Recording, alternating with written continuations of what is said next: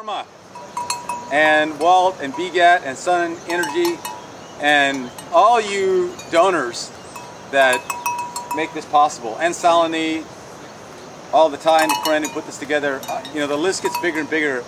I know this in life. I can do a lot of bad things all by myself. I can't do anything good by myself. So I'm really grateful to Walt and all of you who paid for this and the people that installed it for all these solar systems that were put in last year. This is a training camp for Karen relief teams. And since they're right here, my daughters are here. Um, we're in northern Karen State, Burma. And you girls want to say something? What do you want to say? Thank you. Thank you for what? Thank, Thank you for all the power and the solar systems. And we really enjoy it. You do? And what are your names? My name's Suzanne. My name's Haley. And what are your horses' names?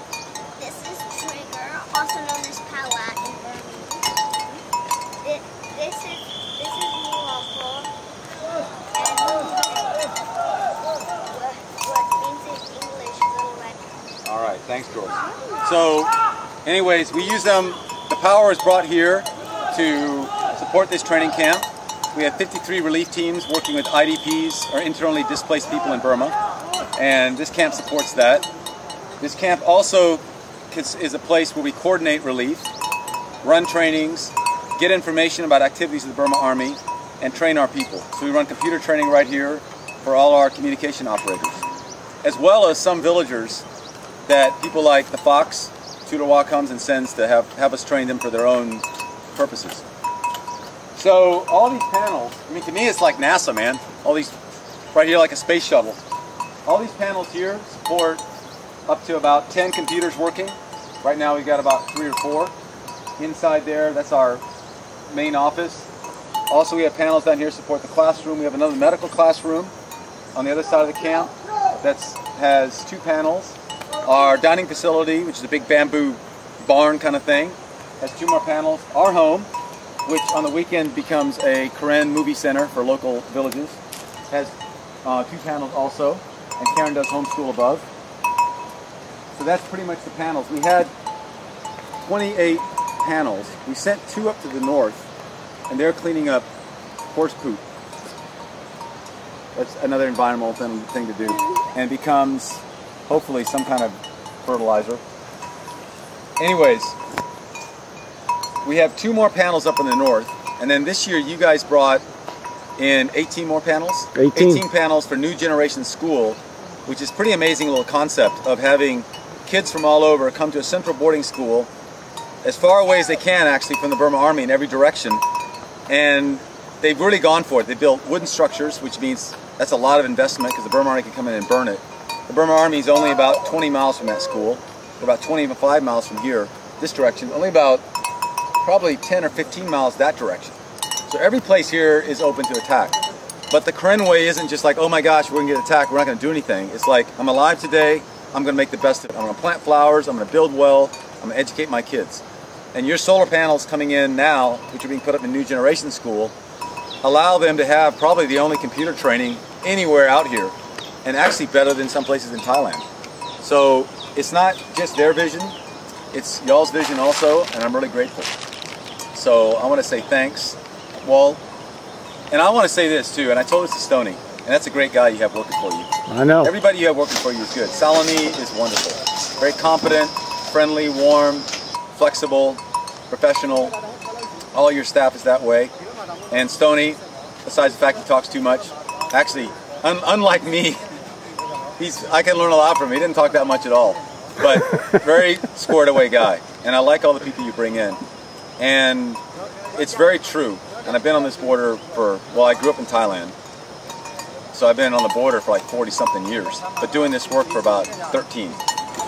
I've never seen an organization like yours that's as efficient, that gives stuff for free, which is great because we don't have the money for it, and are friendly and flexible. And one of the greatest examples I saw was when you just installed everything last year and somebody right away broke something in a really unintelligent way right in front of you after you told them not to do certain, certain things. They just did it. And they destroyed a $350 piece of equipment right there. And your reaction was, well, now we'll know how to fix it because we got to replace it. And I thought, that's wonderful because people are more important than things. And they got that message, which means they'll do anything for you. And so I think that's one of the, the most important things that makes your organization wonderful isn't just that you know what you're doing and you put in good stuff that we all need. It's the way that you do it. And so I want to thank you for that and thank all the people that support um, these kind of projects. I already asked that God would bless you 10 times over and not only these projects in Burma, but the other projects that happen around the world. He so has. Thanks and God bless you. Thank you. What about um, anything? What's your what's your next needs? Well, we're going to graduate these teams here on 1 December, and then we'll all go out on relief missions. And we're going to take two of the panels from the new generation, leaving them 16, across the road the Burma Army built, which is a major obstacle, into a northern area that's getting hammered pretty hard, but still has some pockets of relative quiet where we have two, we support two clinics. And we're going to put those panels into one of those clinics. And that's that's another need. If that goes well and can, they can keep that, then we probably would like another one for another clinic. That's probably the starting point up here. Then uh, other needs are we have our teams are spread all over Burma. And even though they're not going to be carrying these panels around, they operate often out of clinics or places they do need constant power. And so I think the first need is across the car road in the north.